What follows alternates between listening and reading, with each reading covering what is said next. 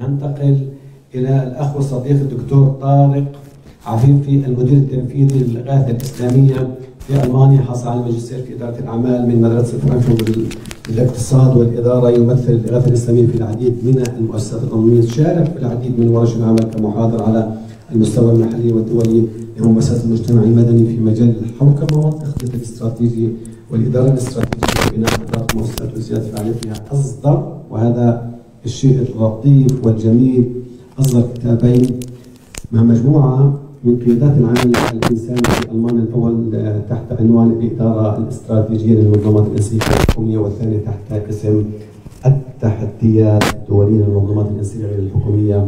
وهم الكتب نشروا.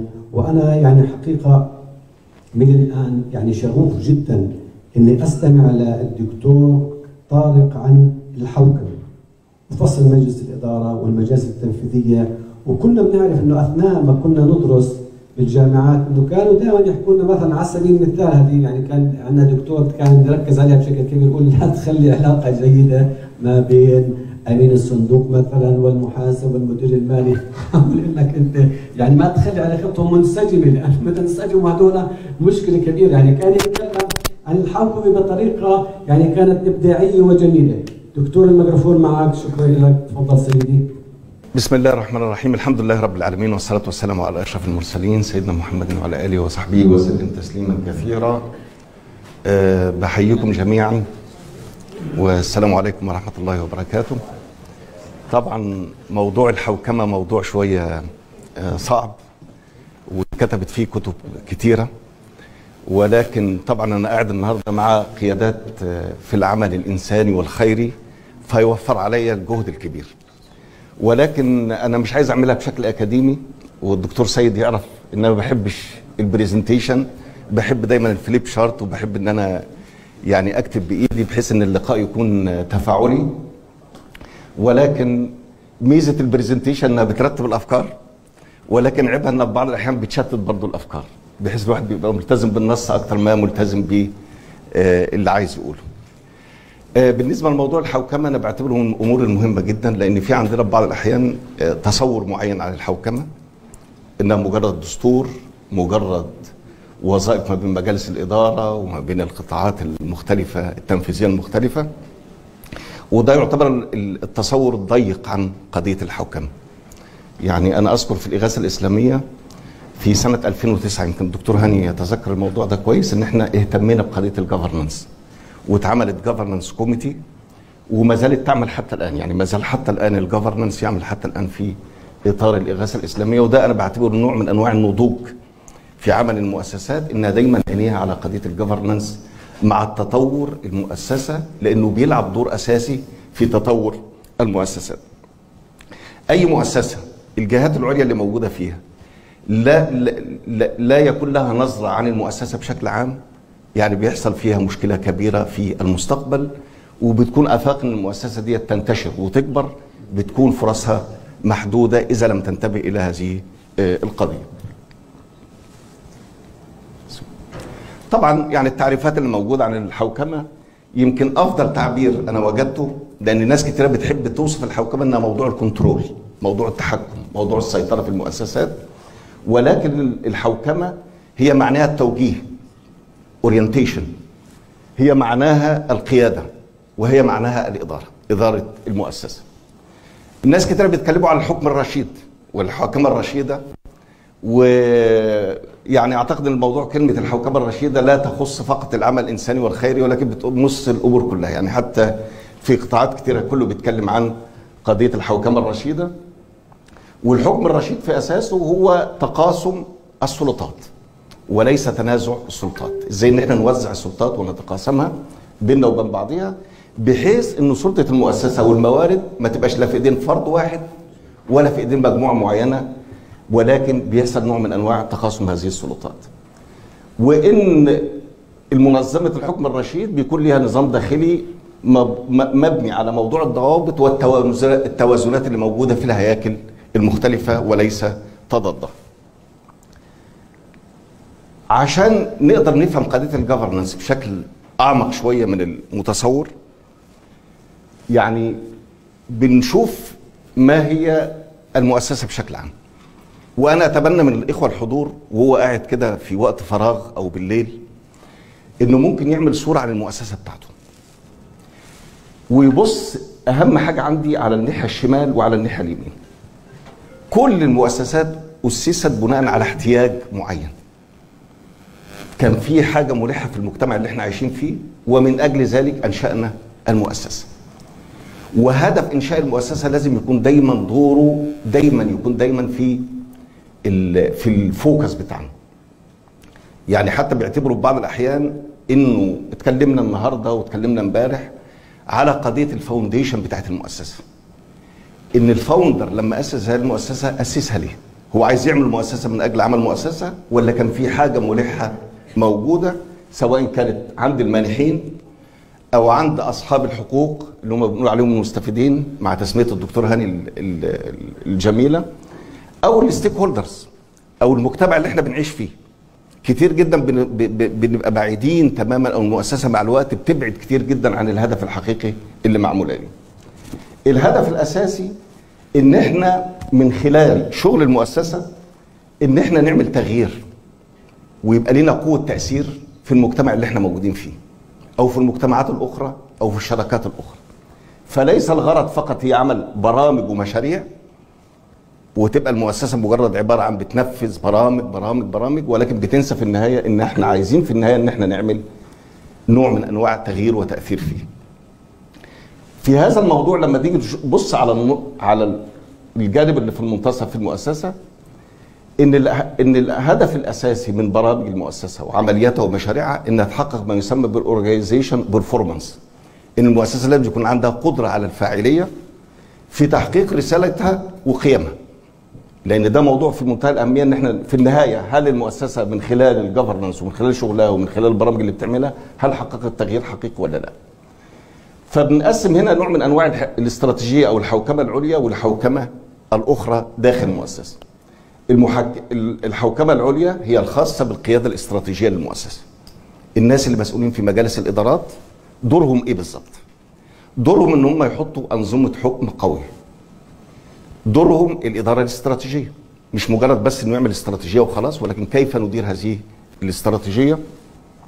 السياسات الموجودة ال- ال- المالية الموجودة ووضع السياسات العامة وإدارة الأزمات بتبقى دي كلها في إيدين الإدارة العليا داخل المؤسسة. في في النص هو ده مركز العمليات وفي الآخر هي ال- الإدارة الداعمة سواء كانت إدارة موظفين وإدارة الجودة إدارة مالية إدارة لوجستية نظام الشكاوى اللي هو الكومبلاينس والحاجات دي كلها ممكن بتكون في الأمور الإدارة التنفيذية. ولكن في المهم جدا إنه من خلال المؤسسة في خلال تطورها لازم يكون عندها ال process اللي اتكلم عليها الدكتور سيد النهارده هي قضية النمو والتطوير والتعليم. إن إحنا اتعلمنا من ال impact بتاعت المؤسسة وصب الثاني في الاحتياجات مرة مرة أخرى. في ثلاث سلوكيات اساسيه أنا عايز أقف عندهم شوية في داخل أي حوكمة رشيدة إحنا نريد إن إحنا نوصل ليها. أول حاجة ناس كتيرة جدا بتعتبر الحوكمة هي فقط في موضوع الأنظمة والقوانين واختيار مجلس الإدارة ومدة مجلس الإدارة أربع سنين خمس سنين ثلاث سنين وبتهتم جدا بقضية مجالس الإدارة و- ومين اللي عنده صلاحيات ومن دي نظم وقوانين موجودة بتتحط داخل ال- ال- المؤسسة مهمة وضرورية ولكن ليست كلها هي الحوكمة الرشيدة اللي إحنا عايزينها. تاني نقطة مهمة هي موضوع الالتزام والمسؤولية. ده أهم شيء في الحوكمة اللي موجودة داخل المؤسسات الخيرية إن يكون في عندنا نوع من أنواع الالتزام بما نكتب وما نقول الالتزام معناه إنه الناس فاهمة مستوعبة الدور اللي هو موجود فيه وإن أنا لما بحضر مجلس إدارة أو بتجيلي لقاء عشان موضوع استراتيجي أخده بنوع من أنواع الجدية. في مجالس إدارة كتيرة أو أنا شفت حاجات كتيرة جدا يعني حقيقة تانية. إن بيجي الشخص ومبذول جهد على ال document اللي موجودة وممكن هو يكون قاريها قبل اللقاء بنص ساعة.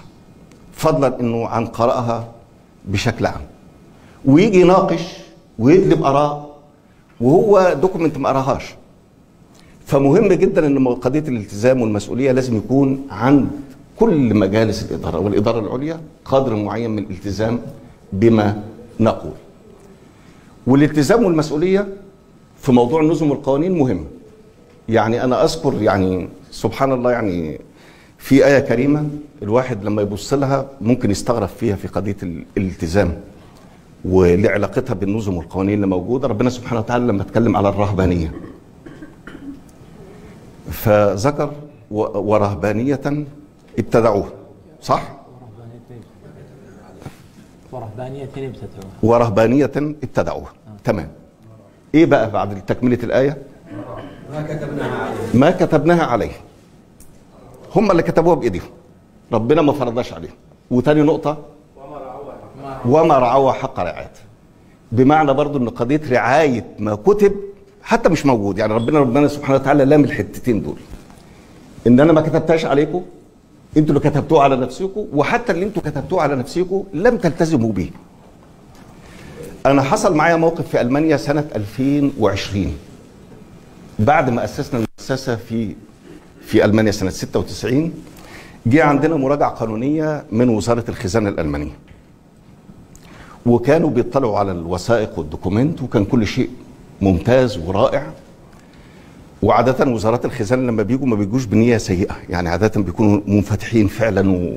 وناس إيجابيين. والمراجعات اللي أنا شفتها بصراحة ما كانش فيها أي نوع من أنواع لا موضوع الإسلاموفوبيا أو شيء لكن كلهم جايين منفتحين. ولكن وجدنا في الدستور بتا... اللي إحنا كاتبينه كلمة. كلمة واحدة بس عملت عندنا إشكالية قانونية. فلما جه المراجع قال لنا والله أنتوا كاتبين كذا في نص الدستور وإن أنتوا اللي منفذينه مختلف بسبب الكلمة ديت. وانتوا عندكم الآن إشكالية قانونية لازم تحلوها. فأنا لما بكلمه بكلمه بحاول إن أنا بجادل معاه فقال لي طارق الكلمة دي أنتوا اللي كتبتوها مش إحنا. ولكن الكلمة دي عاملة لكم الآن مشكلة قانونية فلازم تحلوها. نحلها إزاي؟ قال لي خلاص طالما الحسابات والأمور تمام موجوده عندكم ك- في إمكانية إن أنتوا تعقدوا جمعية عمومية بحيث إن أنتوا تغيروا هذه الكلمة. فالشاهد اللي أنا عايز أقوله إنه بعض الأحيان بتبقى كلمة في الدستور وما مدى الالتزام بها بيكون له تأثير مهما. الدساتير مش معمولة عشان تكتب وتتحط ولكن عشان موضوع تنفذ. النظم والقوانين نفس الشيء محطوطة في موضوع الحوكمة حتى تنفذ وليس فقط لموضوع إن إحنا نكتبها. ثالث نقطة ودي مهمة هي قضية الكفاءات البشرية في اختيار مجالس الإدارات العليا.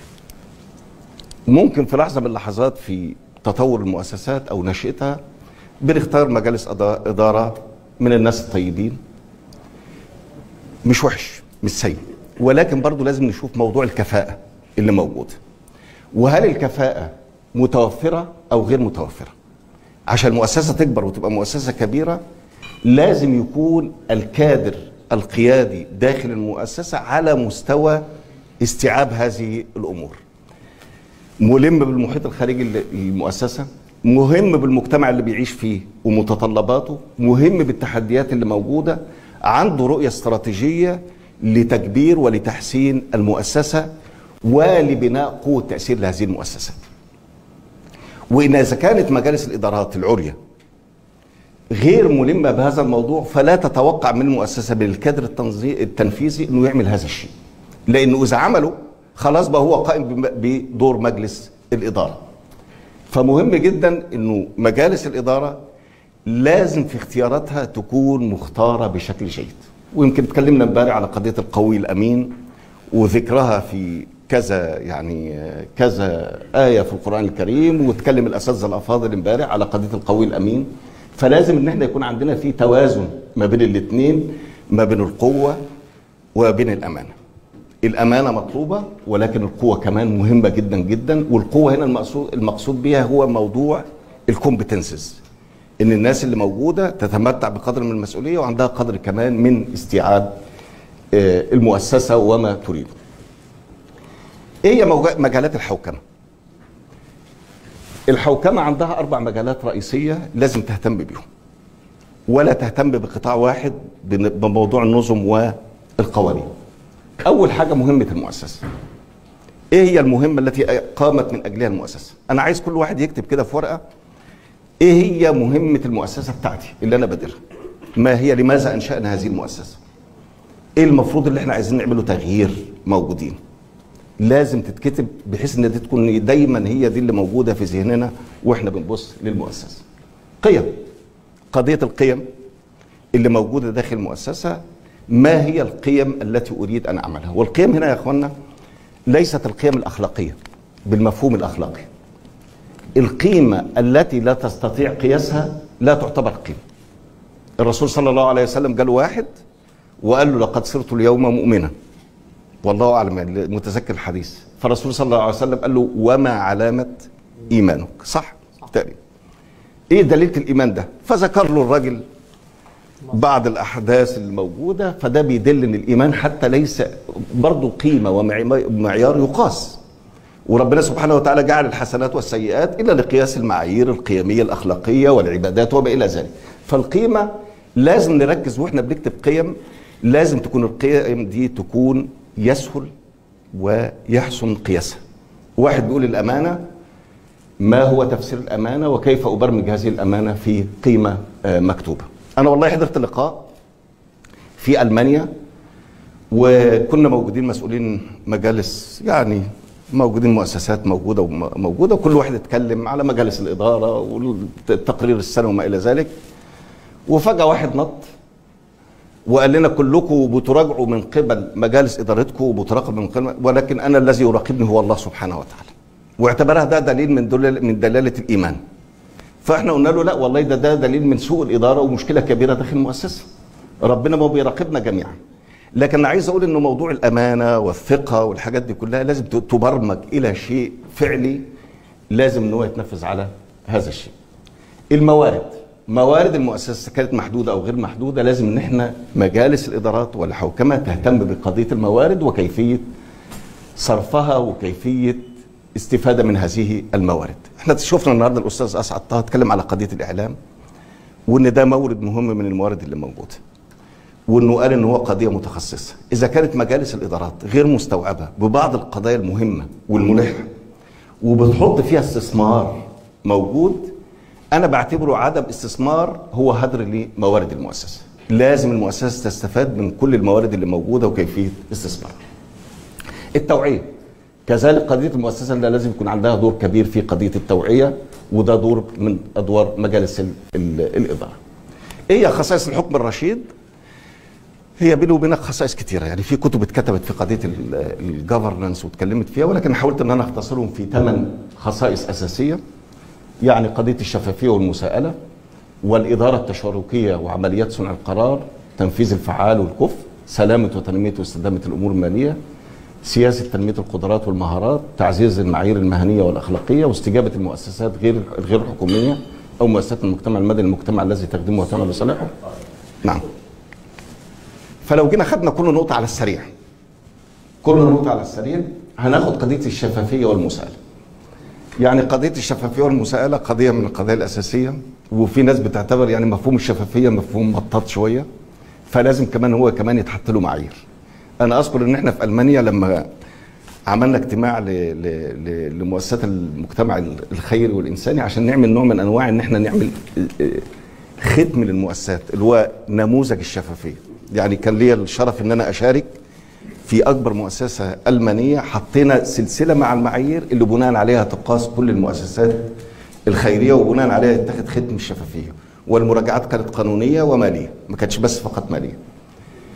فقضية الشفافية معايير اتحطت. أي مؤسسة لا تتبع هذه المعايير مهما قالت فهي ليست شفافة. يعني وأنا بالمناسبة يا ريت أنا عندي فكرة لو حد قدر إن هو نعملها المؤسسات الإسلامية الآن اللي موجودة في تركيا وموجودة في اليمن وموجودة في سوريا في كل مكان عايزين يا ريت لو عرفنا نعمل مش منصات عايزين نعمل مؤسسة جهة تكون دورها الرقابي على المؤسسات الخيرية والإنسانية تعمل معايير وتبقى ليها سلطة قوية. إن دي لو قدرت نجحت إن هذه المؤسسة تقول والله إن أنا عندي القدرة على مراجعة المؤسسات الموجودة وبناء عليه بديها ختم إن هذه المؤسسات تلبي معايير الشفافية والمساءلة والأمور القانونية وان أنا بعد كده ممكن لا يأخذ أحد فند إلا من خلال إنه يكون عنده المعيار من خلال هذه المؤسسة. لو نجحنا في كده أنا بعتبر إن إحنا هنكون يعني فعلا نقلنا المؤسسات الخيرية والإنسانية نقلة كبيرة جدا. تخيلوا الإغاثة الإسلامية أو أي مؤسسة أو أي مؤسسة مانحة بنقول والله دي هذه المؤسسة عندها معايير شفافية عندها سياسات واضحة راجعناها وتمام. فساعتها ممكن نحطها يتحط كشرط لموضوع التمويل والتنفيذ.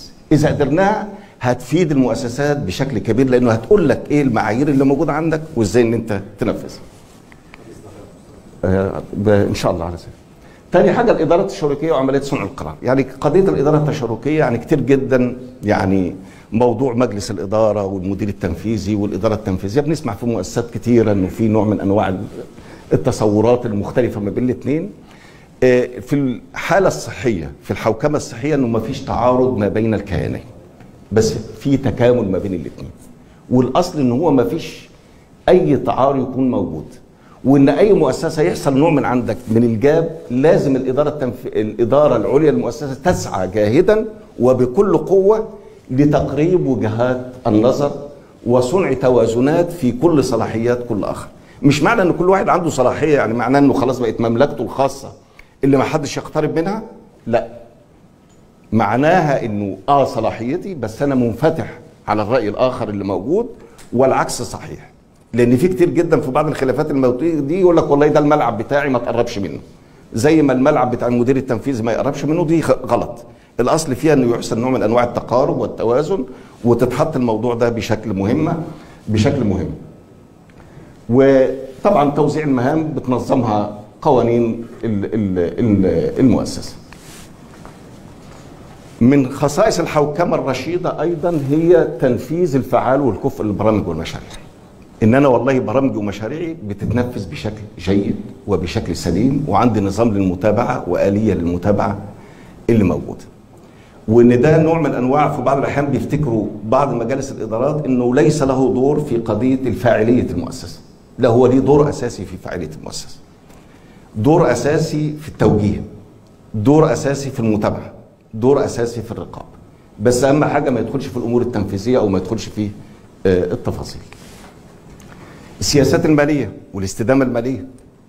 يعني قضية السياسات المالية أيضا وضع السياسات العامة للمؤسسة اللي موجودة طريقة متابعتها التقارير بتتعرض بشكل سليم وقضية الاستدامة المالية.